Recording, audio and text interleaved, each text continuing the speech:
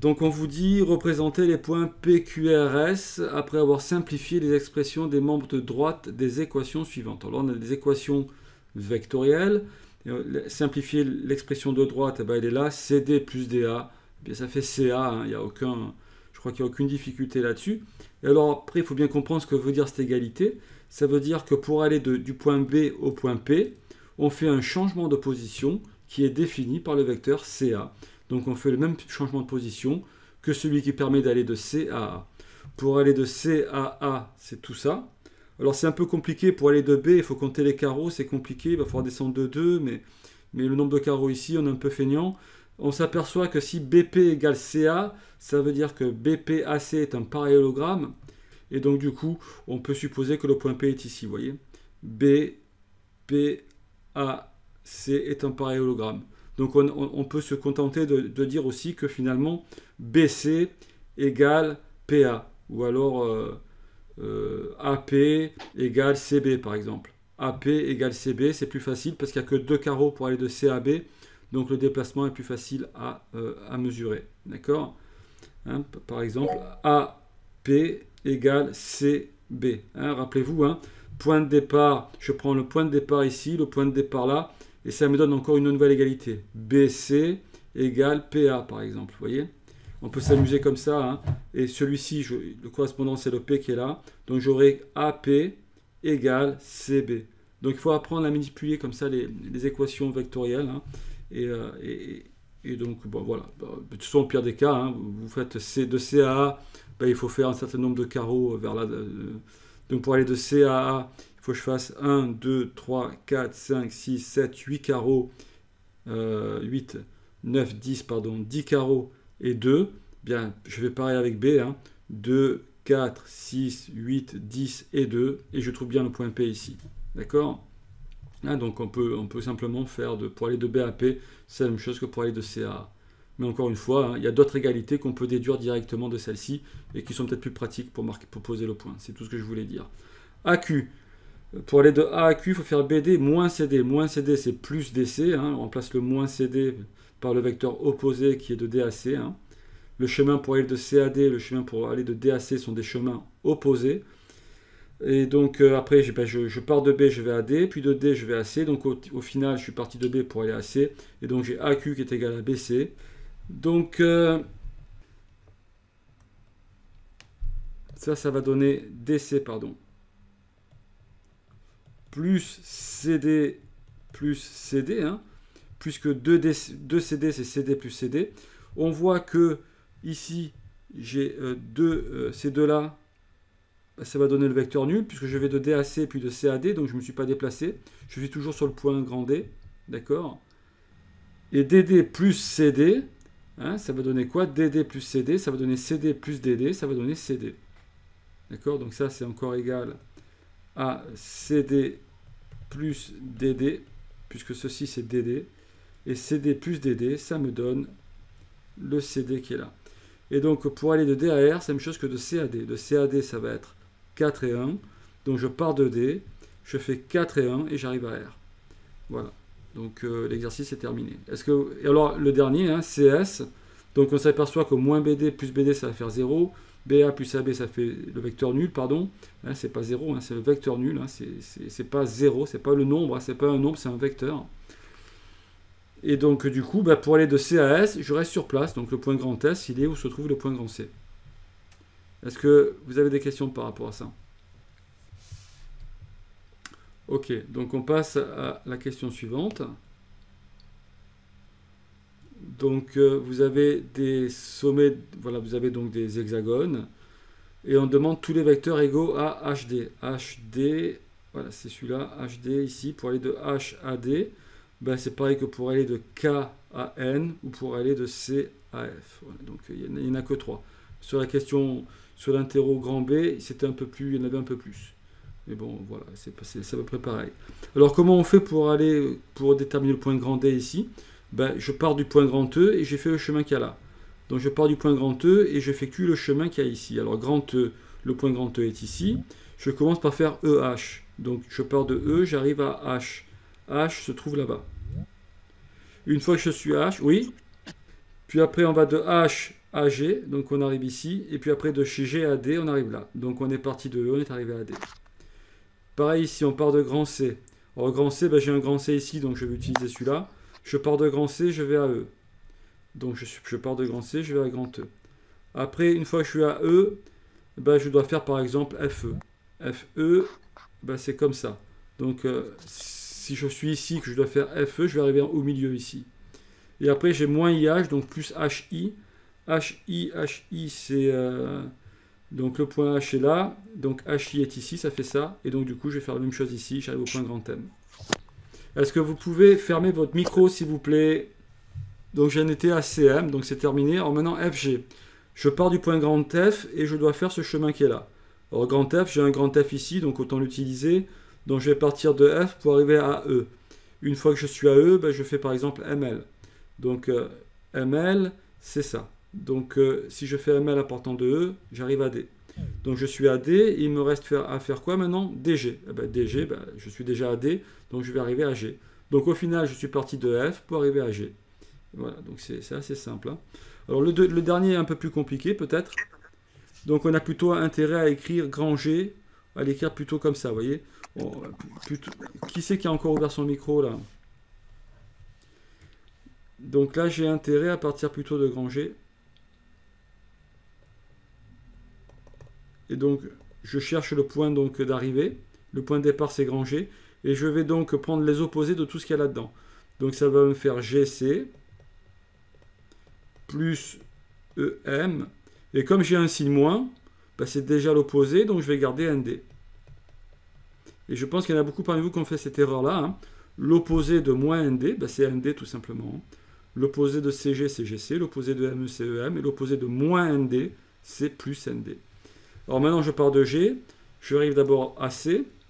Après de C, il faut que je fasse EM. EM, ça va me faire arriver là-haut. Hein, vous voyez, EM, c'est ça. Donc euh, de C, ça va me donner ça. Donc j'arrive au point grand K. Et au point grand K, il faut que je fasse ND. ND, c'est ça. Donc ND me fait arriver au point grand H. Donc le point que je cherche ici, c'est le point grand H. Euh, et, c'est bien donc grand H que je mets à cet endroit-là. Voilà, donc là on termine l'exercice donc 2. On passe à l'exercice suivant. Page suivante. Voilà. Alors celui-ci, il était peut-être un peu moins évident, mais il est quand même il est très très important de, bien maîtriser ça. Donc euh, on demande AC, c'est combien de fois AB Alors AB, c'est 3 carreaux. D'accord?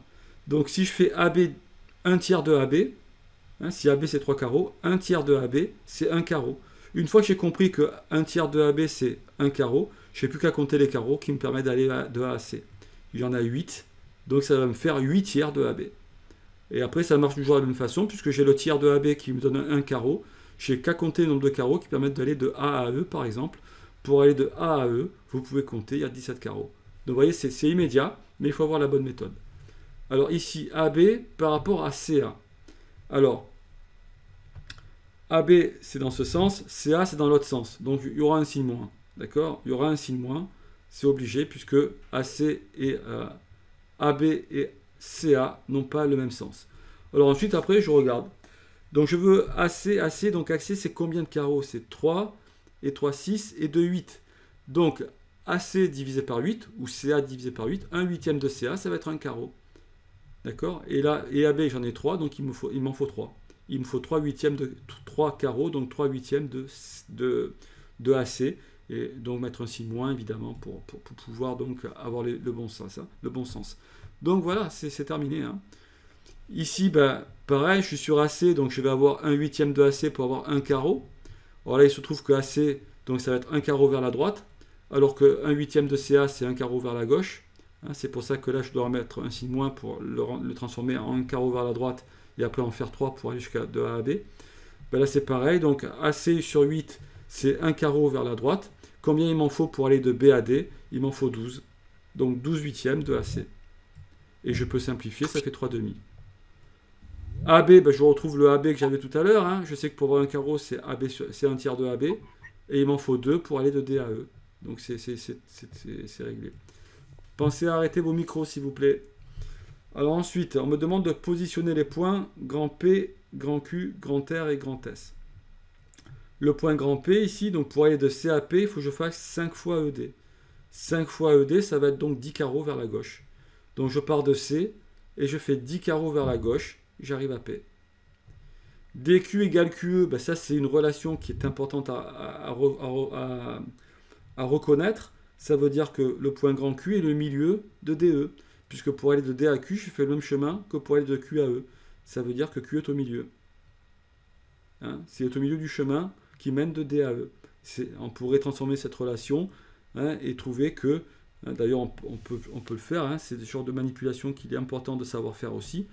regardez, je peux, je peux, très bien ici modifier cette relation euh, de façon à avoir la lettre grand Q que pour un vecteur. Donc euh, pour le vecteur QE par exemple. Donc je vais introduire grand E là-dedans. Alors pour introduire grand E là-dedans, je dis que ça c'est DE plus EQ égale QE.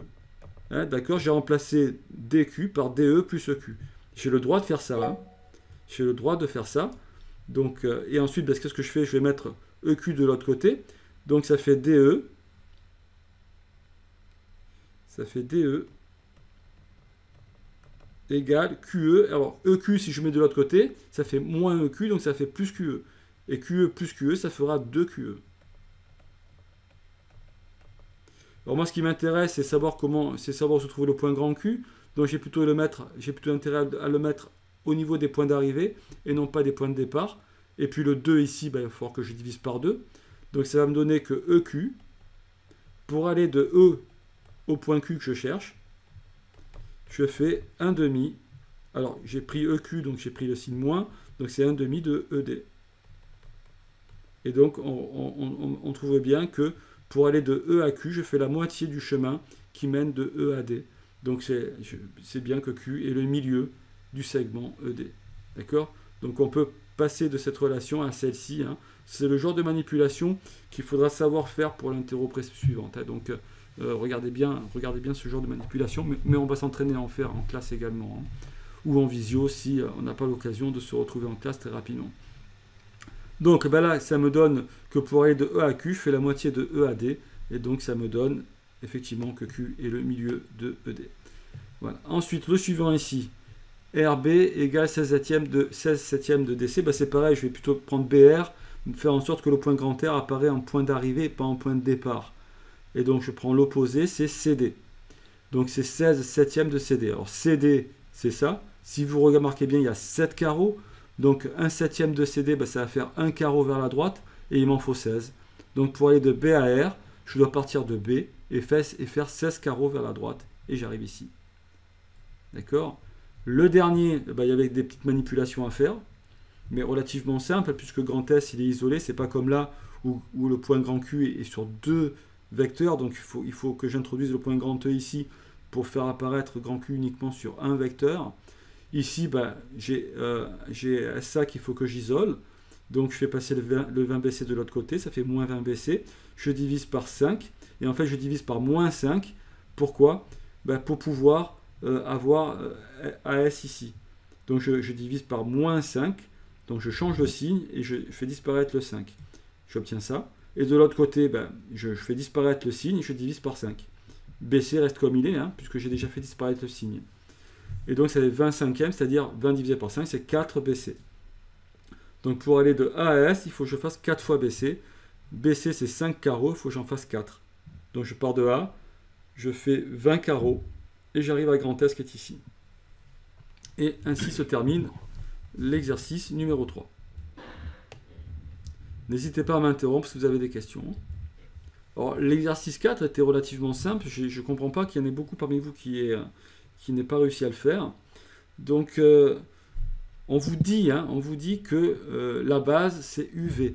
Donc, quand j'écris, et alors je, je, le réécris encore ici, le vecteur A, c'est 3 fois U moins 2 fois V. Donc, le vecteur A, c'est 3 fois U, une fois, deux fois, trois fois. Hein, je pourrais le dessiner, hein, le vecteur petit u. Le, vecteur 3u, il est là. Donc ça, c'est 3u. Et j'ajoute moins 2v. 2v, ça, me ferait partir vers là, mais je veux, je veux moins 2v, donc deux fois l'opposé de v. L'opposé de v, c'est 3 carreaux vers le haut. Il faut que je le fasse deux fois. Et donc vous avez ici le vecteur moins 2v. Et quand je fais 3u moins 2v, en partant du point grand O, j'arrive au point grand A. Et on vous le disait bien, hein, il faut partir du point grand O pour représenter ces vecteurs. Donc vous partez du point grand O, vous faites 3u moins 2v, vous arrivez au point grand au point, enfin au vecteur, vous, vous représentez le, vecteur A en partant, en ayant son, origine au point grand O, hein, c'était marqué, donc vous dessinez tous les vecteurs à partir du point O. Hein, en représentant, j'aurais pu le dessiner n'importe où, mais on vous demande de le dessiner, de le représenter à partir du point O. Donc il faut le représenter à partir du point O. Donc il faut partir du point O pour faire les changements de position qui correspondent à 3 fois U et à moins 2 fois V. D'accord? Alors B, ben, c'est pareil. Hein. Quand on écrit des nombres comme ça, il faut préciser la base. La base, on vous l'a donné, c'est UV. Donc là, c'est 2U plus 3V. Donc 2U, ça me fait arriver jusqu'ici. 3V, ben, je vais dans le bon sens cette fois. Et j'arrive aussi ici, donc à, l'arrivée.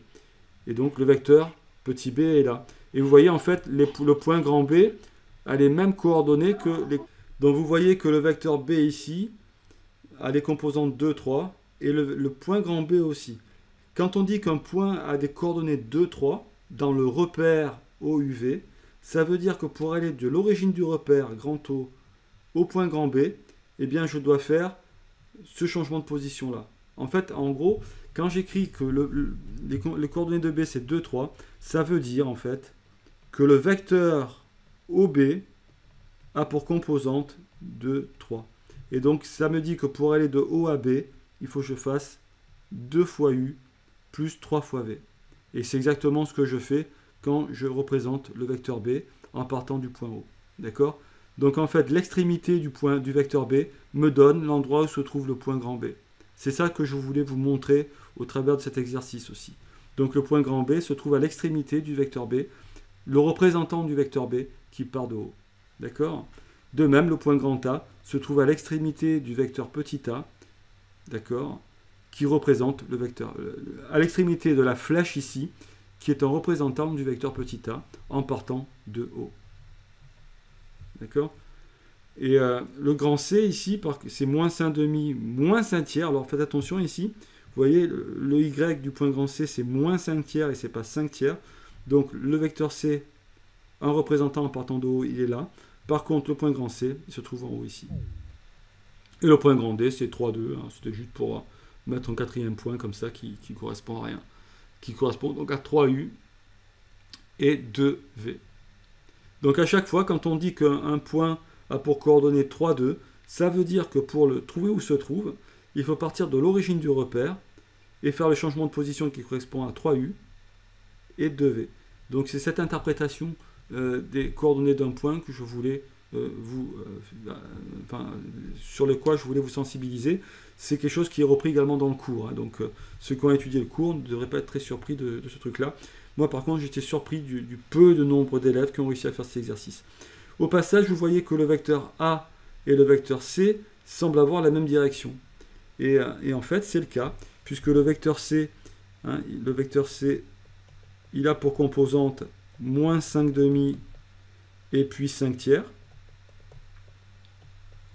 Tandis que le vecteur, euh, tandis que le, donc le vecteur C a ça, tandis que le vecteur petit a, il a pour composante 3 moins 2. Et donc ces deux vecteurs ont la même direction. C'est quelque chose que l'on va voir tout à l'heure, c'est quelque chose d'important qu'on va voir dans le cours. Et comment, comment je peux savoir que ces deux vecteurs ont la même direction? Comment je peux le voir? Il faut trouver un nombre qui me permet de passer de l'un à l'autre. Hein, ça veut dire que les vecteurs sont collinéaires, donc il doit y avoir un nombre qui me permet de passer de, l'un à l'autre. Alors ce nombre, appelons-le petit k. Donc euh, imaginons que par exemple, je veux trouver petit k tel que a est égal à k fois petit c. Comment je vais faire pour trouver ce nombre? Mais ça veut dire que moins 5 demi, donc, euh, pardon, ça veut dire que 3, donc petit a, c'est 3 moins 2. Donc ça veut dire que 3 doit être égal à k fois moins 5 demi, et moins 2 doit être égal à k fois. Donc il faut que je trouve un nombre k qui permet à la fois d'avoir cette relation-là et aussi de passer de moins 2 à 5 tiers. Enfin, ou là, ici, plutôt de 5 tiers à moins 2. Alors, quel est le nombre qui me permet de passer de 5 tiers à moins 2 Comment Ou de moins 5 demi à 3 Est-ce que c'est le même déjà? Ben, Allons-y. Comment on fait pour trouver ce nombre? Ben, Je vais multiplier par l'inverse de ce truc-là pour l'isoler. Hein. Donc, dans, dans la première équation, ça m'entraîne que petit k est égal à 3 multiplié par l'inverse de ce truc-là, donc 3 fois moins 2 cinquièmes, c'est-à-dire moins 6 sur 5. Et dans la deuxième équation, qu'est-ce que je trouve pour petit k? Je trouve petit k est égal à moins 2 fois l'inverse de ça, c'est-à-dire 3 cinquièmes. Et donc ça fait encore moins 6 cinquièmes. Et donc vous voyez que ça marche. J'ai bien le même nombre k qui me permet de passer de moins 5,5 à 3 et de 5 tiers à moins 2. D'accord? Donc les deux vecteurs ici ont bien la même direction et c'est ce que l'on voit sur le schéma ici. Et retenez, retenez ça. Mais il y a un moyen encore plus simple d'obtenir de, ce résultat-là, et on va le voir donc euh, tout à l'heure, bah, c'est de faire la multiplier, multiplier ça par ça. Si on multiplie le x, la, la, première composante avec la deuxième, on obtient moins 5 demi fois moins 2, c'est-à-dire 5. Et si on fait 5 tiers fois 3, on obtient 5. Et si on a ça, si on a la, si on a, quand on multiplie comme ça, on trouve la même chose à chaque fois, ça veut dire que les vecteurs sont collinéaires. D'accord? Merci de fermer vos micros, s'il vous plaît. Allez, page suivante. Voilà.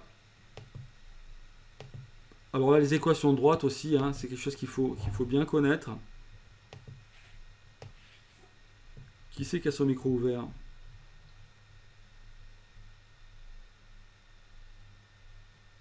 C'est encore euh, Léna.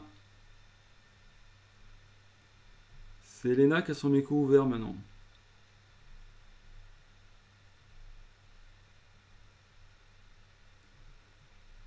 Léna, est-ce que tu pourrais fermer ton micro, s'il te plaît?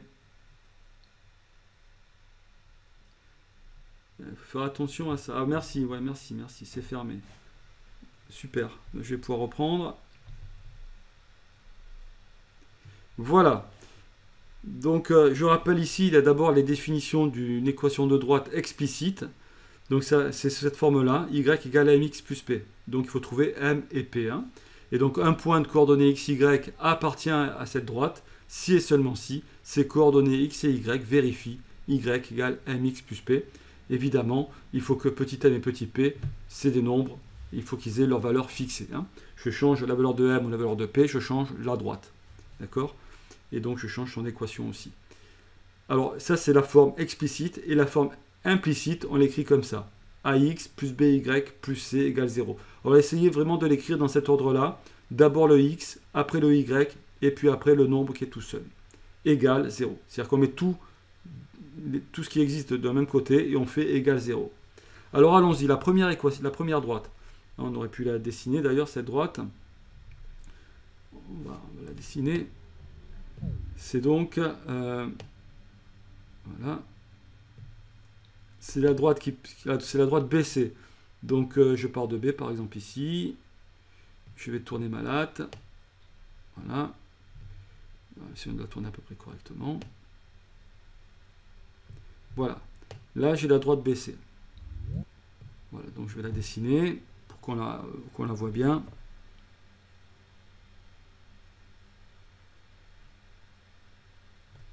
Voilà. Alors cette droite, ben déjà la pente, on peut la voir facilement. Hein. La pente, c'est quand j'avance de 1, je descends de moins 1. Donc la pente, ça va être moins 1. On peut la calculer ici. Hein. Pour calculer la pente de la droite BC, pardon. Moi, je ne l'ai même pas calculé ici. Donc on voit bien que c'est moins 1. D'accord? Donc euh, petit m est égal à moins 1. Et alors petit p, c'est la valeur de y quand x égale 0. C'est l'ordonnée à l'origine, petit p. Hein, maintenant, vous devez connaître ça. Donc quand x égale 0, ben, le point qui est sur la droite, son y vaut 0. Donc petit p égale 0. Ce qui veut dire que la droite a pour équation explicite y égale moins x. C'est immédiat. Et si je veux l'équation implicite, ben, je mets tout du même côté. Donc ça fait x plus y égale 0. Alors on essaie en général de mettre des coefficients le plus simple possible. Donc beaucoup parmi vous m'ont écrit moins x moins y égale 0. J'ai compté juste bien sûr, mais écrivez plutôt x plus y, hein, c'est mieux. Alors pour la droite BD maintenant, la droite BD, elle est là. On peut la dessiner si vous voulez. Hein. La droite BD, voilà. Je vais euh, réduire un peu ma latte là, voilà. Hop, je la tourne. Et voilà, ma droite BD. Je vais l'allonger un petit peu. Voilà, la droite BD. Je vais la dessiner en, en bleu par exemple. Elle est là.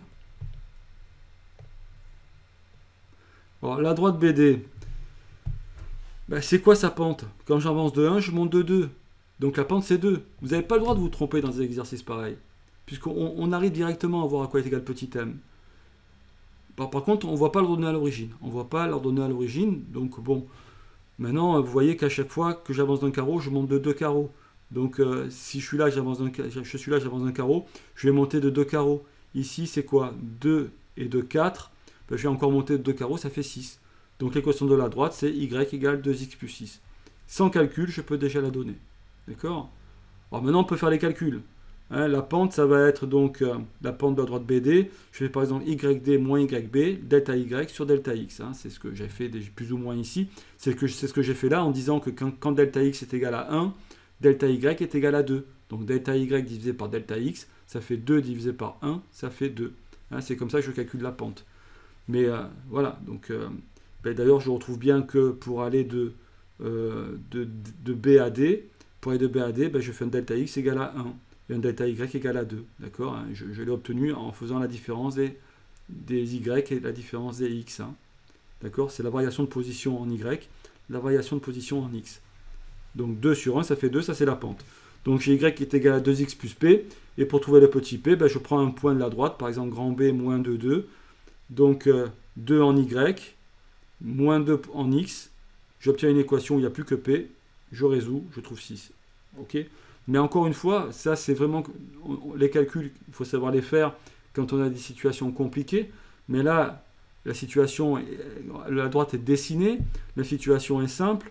Quand on voit que quand delta x égale 1, delta y égale 2, donc la pente delta y sur delta x, ça va faire 2. Et l'ordonnée à l'origine, ben, on voit bien que quand j'avance de 1, je monte de 2 carreaux. Quand j'avance de 1, je monte de 2 carreaux. Si ici j'étais à y égale 4, ben, quand la droite va couper l'axe, ben, y sera égal à 6. Je serai monté de 2, 4 plus 2 égale 6. Alors la troisième droite, dessinons-la. Il, y, a eu beaucoup trop d'erreurs sur cet exercice. Hein. beaucoup trop d'élèves qui ont eu du mal à comprendre, hein, à, le faire correctement. Donc ça, il faut vraiment que vous... Euh, on avait fait un exercice où il y avait plein de droites pour lesquelles il fallait trouver les équations. Donc il faut vous entraîner, hein, il faut vous entraîner là-dessus. Alors, CA, la droite CA, elle est ici, je vais dessiner en, vert. Voilà la droite CA. Donc, euh, la droite CA, ben, je vois bien quand j'avance de 1, c'est un peu compliqué. Mais quand j'avance de 2, je monte de 1. Donc la pente, ce sera 1 divisé par 2, 1 demi. Et l'ordonnée à l'origine, eh ben, si j'avance de, si je recule de 1, ben, si j'avance de 1, je monte de 1 demi. Donc si je recule de 1, horizontalement, je vais descendre de 1 demi. Donc ça va être 1,5 moins 1,5. Moins 3 demi, c'est bien moins 1,5. Et bon, l'équation de ma droite, eh ben, elle est là. Hein. y égale 1 demi de x, moins 3 demi. La pente 1 demi. Hein, quand j'avance de... Donc delta y est égal à 1 quand delta x est égal à 2. Donc delta y divisé par delta x, ça fait 1 divisé par 2. Ça, c'est la pente. Et l'ordonnée à l'origine, bah, c'est le y à cet endroit-là. Et cet y-là vaut bien moins 3 demi. Donc, euh, évitez de, finir cet exercice en me donnant des équations explicites qui, euh, à l'évidence, ne correspondent pas à la droite qui est dessinée. Ne me dites pas que l'ordonnée à l'origine ici est égal à 5. Hein, parce que sinon, bah, vous n'avez rien compris. quoi. Ça va? Donc, prenez le temps de bien... Et je pense que vous n'avez pas rien compris, c'est que vous êtes juste maladroit. Donc euh, faites en sorte de, de, bien prendre le temps de vérifier vos résultats grâce au graphique. D'accord? Et donc pour avoir l'équation explicite, hein, je mets tout du même côté. Donc, alors là, je vais avoir le moins, de moins possible. Donc je vais tout mettre plutôt de ce côté-là. Donc 1 demi de x, ça va faire moins 1 demi de x. Moins 3 demi, ça va faire 3 demi. Je multiplie tout par 2 et j'obtiens ça. Et alors le dernier exercice, ça aussi c'est un exercice très simple. Il faut vraiment avoir la bonne méthode. Ne vous perdez pas dans des... C'est de la méthode. Les mathématiques, c'est de la méthode. Alors comment on fait ça? ABCD est un parallélogramme. Donc je dois avoir AB égale DC. Ça c'est définition du cours. Donc je calcule AB. Je prends le point grand B, 29 moins 43, moins le point grand A, 9, 15, j'obtiens 20 moins 58. Donc pour aller de A à B, je dois faire 20 moins 58. Donc pour aller de D à C, je dois faire la même chose. Mais pour aller de D à C, bah, c'est XC, le point C je connais, moins, et c'est là, c'est là qu'il faut, qu'il faut vraiment avoir le bon réflexe. Et c'est là-dessus certainement que vous avez eu des difficultés. Le bon réflexe, c'est que grand D, je ne le connais pas. Donc bah, je vais dire que c'est XD, YD. Hein, si j'utilise des lettres, je ne connais pas la valeur, je ne connais pas les nombres. Donc comme je n'ai pas les nombres, je vais mettre des lettres à la place. Et je fais comme si c'était des nombres. Et donc je remplace, je, trouve ça. Donc ça va me donner quoi? Il faut que ça soit égal à ça. Donc il faut que 20 soit égal à moins 24 moins xd. Et il faut que moins 58 soit égal à moins 54 moins yd. Donc ça fait que bah, xd, je le mets de l'autre côté. yd, je le mets de l'autre côté. Le 20, je vais passer de ce côté-là. Ça fait moins 24 moins 20 moins 44. Et yd, ça fait moins 54 plus 58, ça fait plus 4. Et donc le point grand D est égal à ça. Alors, une autre façon de raisonner, hein, c'est de dire que là j'ai DC. Moi, ce qui m'intéresse, c'est le point grand D. Donc je peux faire comme j'ai raisonné dans le premier exercice. Hein. Mais bon, là c'est terminé, l'exercice est terminé. Hein. Vous avez la bonne réponse. C'est juste une autre méthode que je vous donne ici. Donc je peux dire que le vecteur CD, pour aller de C à D, je dois faire moins 20 et 58 pour aller de C à D. Le point grand C, ses coordonnées, c'est moins 24 et euh, c'est moins 24 et moins 54. Donc pour trouver XD, qu'est-ce que je fais? Je pars de moins 24, je pars de l'abscisse de C. Hein, pour trouver donc le point que je cherche, l'abscisse du point que je cherche, je pars de l'abscisse de grand C, moins 24, et je lui ajoute moins 20.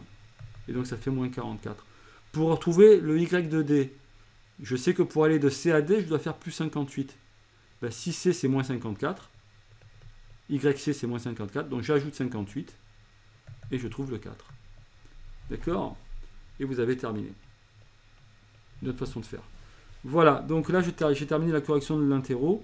Euh, est-ce que vous avez des questions par rapport à ça?